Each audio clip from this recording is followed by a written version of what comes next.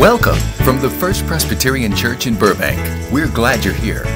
Let's join the service now and hear the proclaiming of God's Word. As the children are going, please turn to Judges, the sixth chapter. Continuing on in our series in the book of Judges, we come to the fifth judge in the book, actually, the second one for us. We're going to be looking at, as we looked at Deborah last week, we look at Gideon this week. We'll come to uh, Jephthah and then Samson. Uh, we've got a couple weeks, though, on Gideon this week and next week. Judges chapter 6. Listen to the word of the Lord. Again, the Israelites did evil in the eyes of the Lord, and for seven years he gave them into the hands of the Midianites. Because the power of Midian was so oppressive, the Israelites prepared shelters for themselves in mountain clefts, caves, and strongholds. Whenever the Israelites planted their crops, the Midianites, Amalekites, and other eastern peoples invaded the country. They camped on the land and ruined the crops all the way to Gaza and did not spare a living thing for Israel, neither sheep, nor cattle, nor donkeys. They came up with their livestock and their tents like swarms of locusts. It was impossible to count the men and their camels. They invaded the land to ravage it. Midian so impoverished the Israelites that they cried out to the Lord for help. When the Israelites cried to the Lord because of Midian, he sent them a prophet who said, This is what the Lord, the God of Israel, says I brought you up out of Egypt, out of the land of slavery. I snatched you from the power of Egypt and from the hand of all your oppressors. I drove them before you and gave you their land. I said to you, I am the Lord your God. Do not worship the gods of the Amorites in whose land you live. But you've not listened to me. The, the angel of the Lord came and sat down under the oak in Ophrah that belonged to jo, Joash the Abiezrite, where his son Gideon was threshing wheat in a winepress to keep it from the Midianites. When the angel of the Lord appeared to Gideon, he said, The Lord is with you, mighty warrior.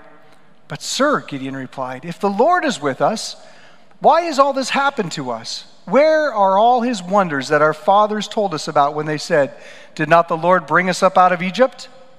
But now the Lord has abandoned us and put us in the hand of Midian. The Lord turned to him and said, Go in the strength you have and save Israel. Out of Midian's hand, am I not sending you? But Lord, Gideon asked, How can I save Israel? My clan is the weakest in Manasseh, and I am the least in my family. The Lord answered, I will be with you, and, I will, and you will strike down all the Midianites together. Gideon replied, If now I have found favor in your eyes, give me a sign that it is really you talking to me. Please do not go away until I come back and bring my offering and set it before you. And the Lord said, I will wait until you return. Gideon went in, prepared a young goat, and from an ephah of flour he made bread without yeast. Putting the meat in a basket and its broth in a pot, he brought them out and offered them to him under the oak. The angel of God said to him, Take the meat, the unleavened bread, place them on this rock, and pour out the broth. And Gideon did so. With the tip of the staff that was in his hand, the angel of the Lord touched the meat and the unleavened bread. Fire flared from the rock, consuming the meat and the bread. And the angel of the Lord disappeared. When Gideon realized that it was the angel of the Lord, he exclaimed, Ah, sovereign Lord, I have seen the angel of the Lord face to face. But the Lord said to him, Peace, do not be afraid. You're not going to die. So Gideon built an altar to the Lord there and called it, The Lord is Peace. To this day it stands in Ophrah of the Abiezrites. This is the word of the Lord. Thanks be to God. It's a longer passage, but uh, when we're going through Judges, we're, we're, trying to get the, the context together for it. And like I said, this is the fifth judge in the book of Judges, the second one that we've taken a look at. And as I said, we're going to look at Jephthah uh, after we're done with Gideon this week and next week. And we're going to look at Samson, stories that are probably familiar to us. When the angel of the Lord visited Gideon and told him that he was going to be the judge to save the Israelites, from the oppression of the Midianites, Gideon asked for a sign. He said, If now I have found favor in your eyes, give me a sign that it is really you talking to me. What God was asking Gideon to do was big. Gideon lacked the confidence to do what the Lord asked, wouldn't you? Do you imagine? We, we see that the, uh, the um, Midianites had come into the land and taken it over from top to bottom. How in the world could a small tribe of Israel, let alone a weakest of the smallest tribe, take care of this matter? But the Lord came to him and said, You're going to do this, Gideon. And Gideon lacked the confidence. And so he kept asking for signs. And God gave Gideon several of them. An angel of the Lord came and took the sacrifice and touched it, and fire came from the rock and it disappeared. That was a sign. Soon as the angel left, then when Gideon said, Oh no, what am I going to do? A voice from heaven, another sign spoke to him and said, Peace. Don't worry. Do not be afraid. We've already seen that in the Bible, the, word, the phrase do not be afraid is there uh, 365 times. That's once for every day of the year. That was one of them there. What do you think the message is from God? Don't be afraid. Well, Gideon was afraid, and so God gave him more signs. We'll see in, in part of the story that, that Gideon will take fleece and put it on the ground, and God will put dew on it one night and have dew not on it another. And so signs were a part of Gideon's life because of his insecurity and fearfulness. And God does provide signs to us on occasion. Have you ever lacked confidence in what God asked you to do? Has God ever given you a sign? How did it come? How did you know that God wanted you to move forward in a certain direction in your life? Sometimes we don't get signs. And sometimes we live in unclarity or with, with a lack of clarity, and that's okay because that's part of the faith too, isn't it? Once in a while, though, God does provide things for us, encouragement, signs to move forward in a certain direction. We've been here, uh, the Purdy family now, Kathy and I and the kids have been here uh, 16 and a half years in Burbank, and it's been wonderful. Uh, 17 years ago, though, as we were on our knees praying, we sensed God was calling us to another place, to another direction, that there was something the Lord wanted us to do. And then we had a call from uh, Mr. Richard Hill here at Burbank, and uh, we had uh, met the people of this church and knew that this is where we were supposed to be. That's, that's where God is leading us to.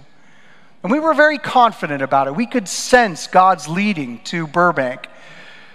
But one Sunday, I, I got up to tell the people of Lake Arrowhead, people that we loved and still love, people that were very meaningful in our lives, part of our family, and, and we being a part of their family I stood up in the pulpit to let them know that we were leaving. This was the news to the congregation.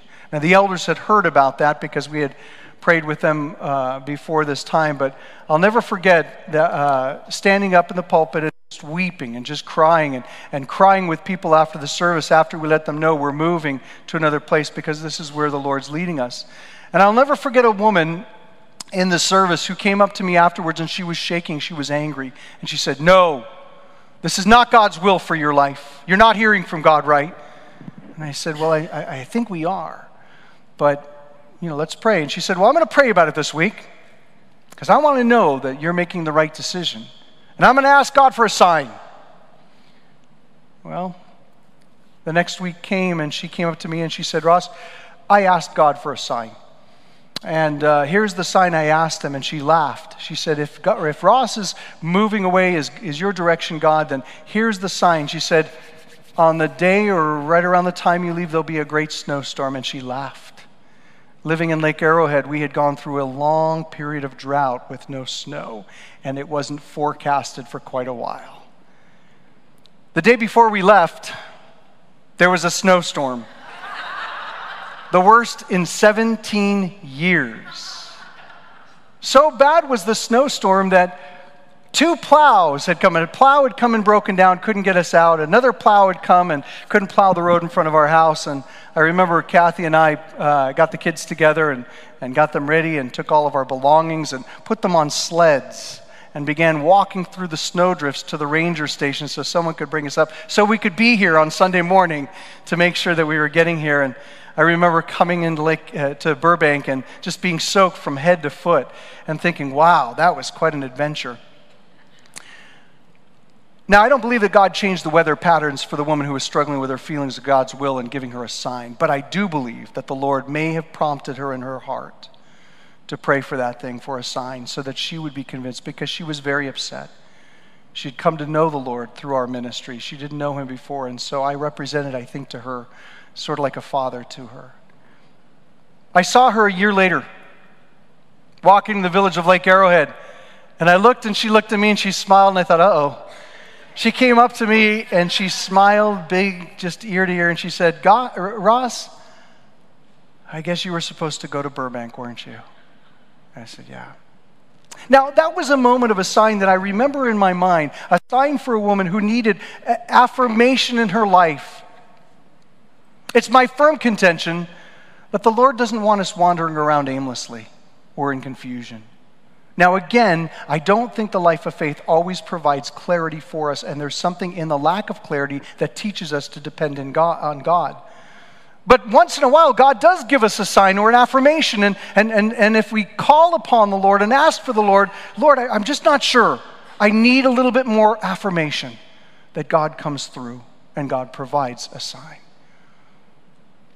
I know that in my life, there have been moments where I've prayed for something and said, God, I, I just don't know what to do. And, and, and then maybe in the, the, the, moment or that day or in the following days as I'm praying about it, a person will come up and say something to me out of the blue, in which I'll go, That's exactly what I needed to hear. God provides signs for us. And our passage today begins by telling us things that we know. Gideon struggled with God. He didn't know what to do, and he couldn't believe what God was asking him to do.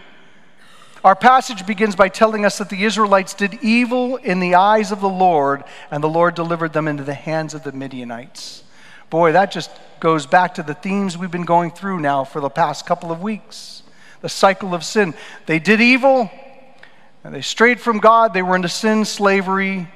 They cried out, and God provided a Savior who saved them.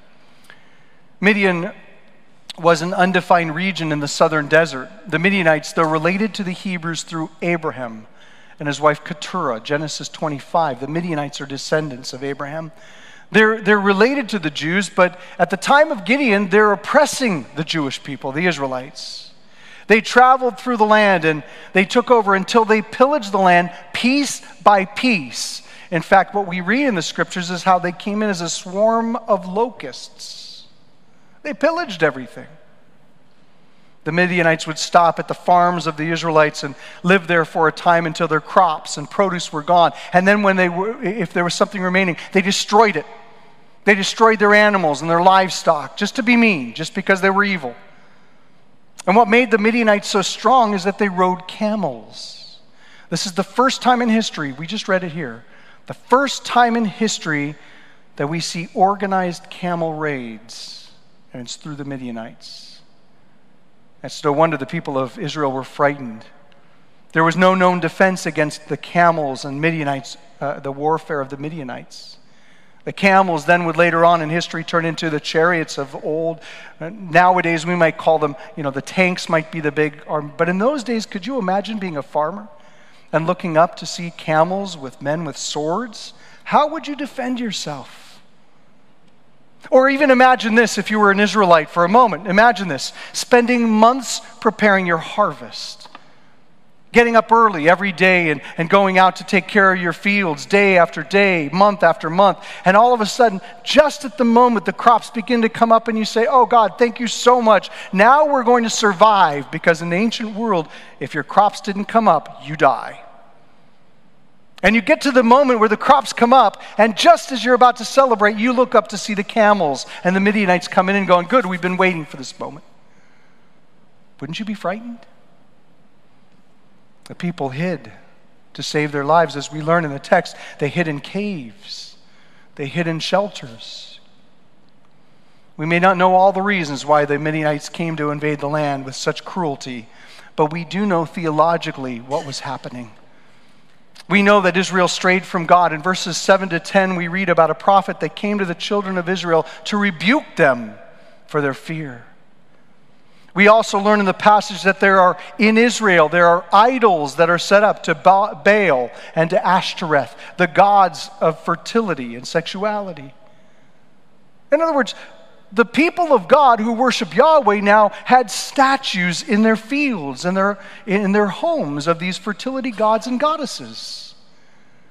And we see this cycle that we learned and we've covered the last several weeks that as Israel began to stray, they became sinful. And as they entered sin, then they became slaved or enslaved and oppressed. And as they were oppressed, they cried out to God and God would deliver them. In our case, we see that God selected a Savior whose name is Gideon. who was from the least of the tribes and the least, he was the least of that tribe. Isn't that the way God works? God doesn't look on the outward for the famous or whatever standards we hold to. God's always looking for the heart.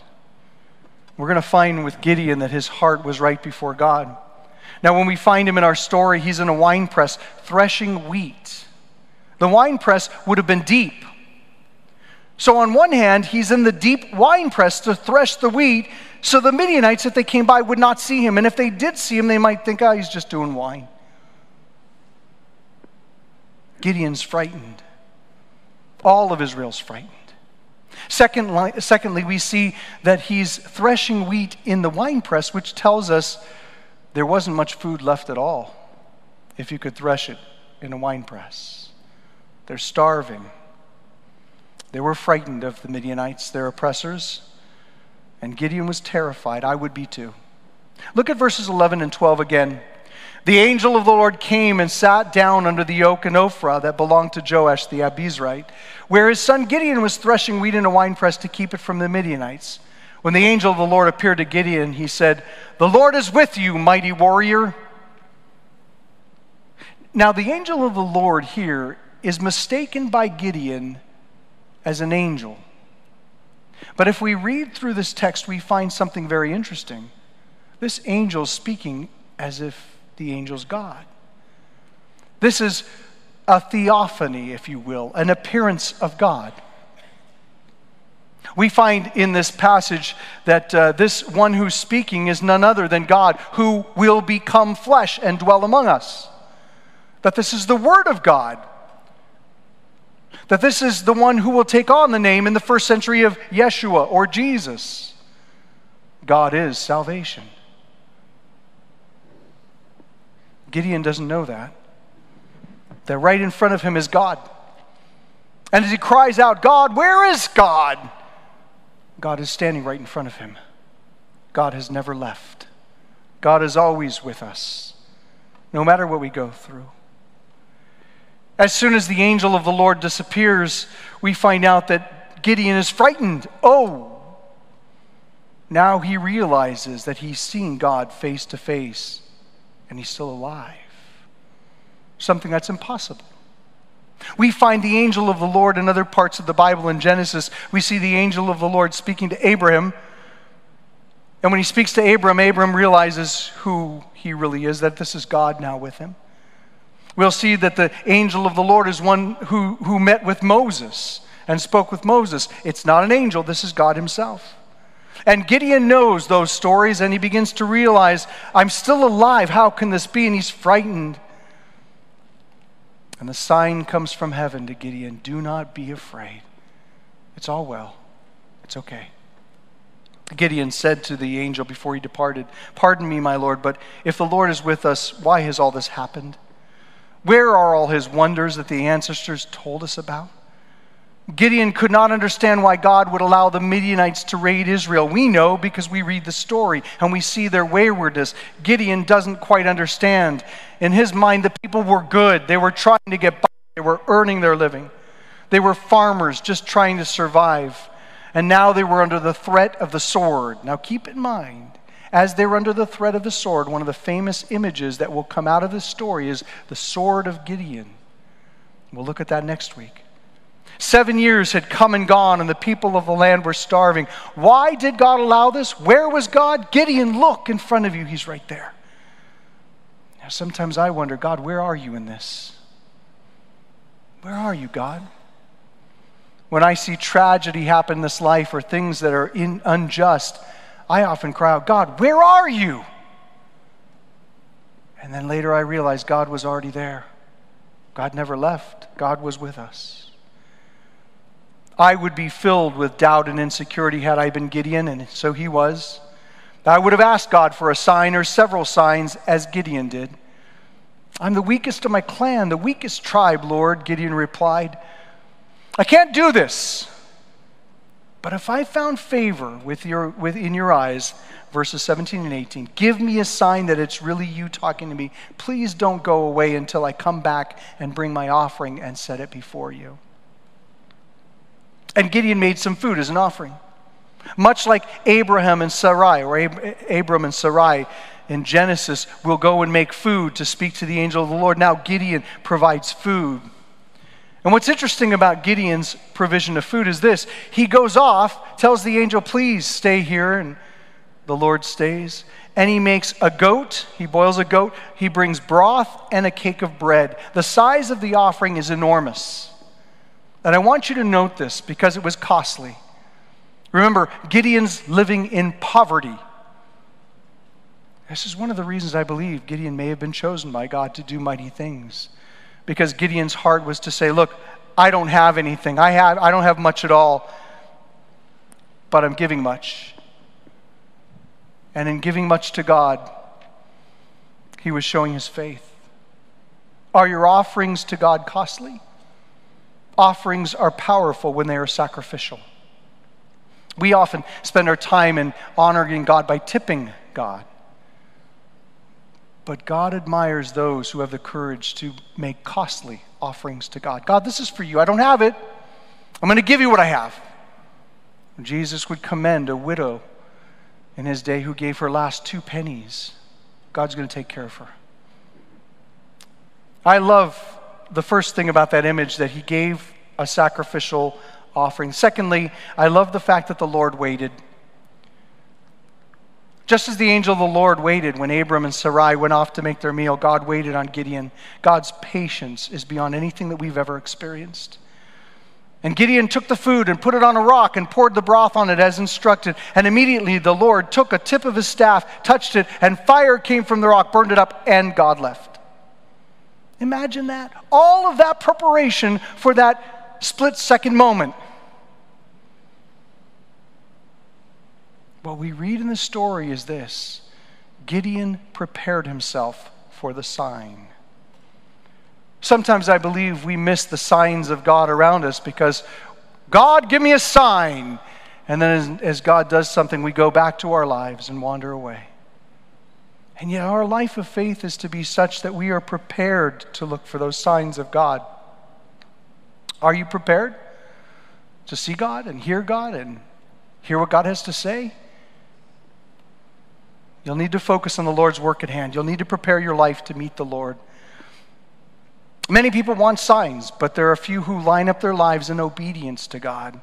We want signs for the moment. Gideon was given signs to strengthen his work for the Lord. Gideon, a mighty man of God, was frightened. He lacked faith. He needed encouragement. And so God gave him a sign and then another sign to encourage him we find in the New Testament another person, and you can read his story, the Apostle Paul, and we find out this great man of faith who conquered the world with the gospel of Jesus Christ was very frightened himself too. We find that Paul has sign after sign after sign in his life because he just doesn't know, Lord, how do I do this? It's not my strength, God, it's by your grace. We find Jesus appearing to him in the road to Damascus. We see that scales fell from his eyes so he could see again. We see the Apostle Paul one night waking up with Jesus standing there by his bedside. We see another time where, where he's told that the ship that he's on will sink, but not to worry. You be the one to help the others. Not to worry. This won't lead to destruction. Sign after sign after sign for the Apostle Paul. Why? Because he was like you and me insecure God, where are you? I'm trying to get through this thing called faith. And God says, Hold my hand. Hold my hand. I'll get you through. And when we earnestly call out to God, not for a sign to get us to the next moment to forget the Lord, but when we earnestly cry out, God, give me affirmation so that I can do your work, God provides signs for us and encouragements. Signs are God's way of offering us something we could already know but our doubts and insecurities get in the way. God doesn't answer our why questions, but He understands. We need help. Gideon struggled with God, and if we re- read on in the book of Judges, we see that God sends Gideon. The very first thing he's to do after having this encounter with the angel of the Lord is to go in and destroy the images and the idols, and they're found in Gideon's father's fields. There's Baal and the Asherah pole. And Gideon goes in at night because he was afraid, the scriptures say. He's still timid and fearful. He brings a couple of his friends and they tear down the idols. And the next morning, there's a knock on his door, and the men of the city say, Bring out Gideon, we're angry with him. How could he do this? He must die for destroying Baal and Ashtoreth. And Gideon's father had enough wisdom to say, Really? Do you have to contend for a God? Let that God contend with my son Gideon, or let my son contend with a God. And so there, Gideon's name was changed, Jerubbaal, uh, Jerubbaal, which means one who strives with Baal. And he will strive against Baal time and time again. Why? Because he's a man of faith, he's a person of faith. And friends, if we are to follow God, we will strive against the gods of this world and the injustices that are around us. That's the story of Gideon. This man who's humble, humble and humbly asking God for help. God has chosen because of his dedication and sacrifice, his humility to defeat the gods of this world that enslave people and the injustices that are all around us. And that's our work, friends, to be people like Gideon, to see God's hand of miracle upon us so we can destroy those false gods that enslave other people. In all of my experiences of signs in my life, I've come to the realization that the miraculous signs that we may experience are not always the most powerful. I want to end the message today by saying the two signs that I love most dearly in my life. That when I struggle, God, where are you? Where are we going? What am I supposed to do? God, did I make the right decision?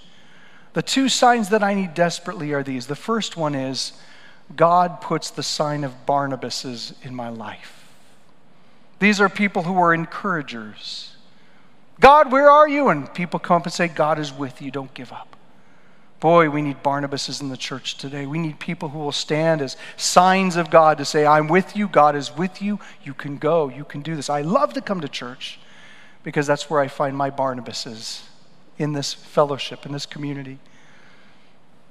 The second sign Oh, before I give the second sign, I, am reminded of the Duke of Wellington. He was a British military leader who defeated Napoleon at Waterloo. He was not an easy man to serve under. He was brilliant, he was demanding, and he was never one to shower his subordinates with compliments.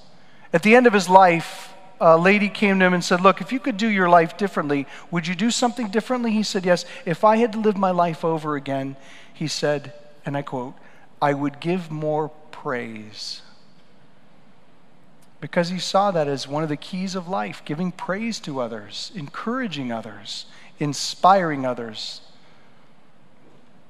And the second sign, and I'll end with this that I treasure more than the supernatural ones, though they both come from the Holy Spirit, all signs come from God's Spirit, are the markers that are set up for me along the path of life.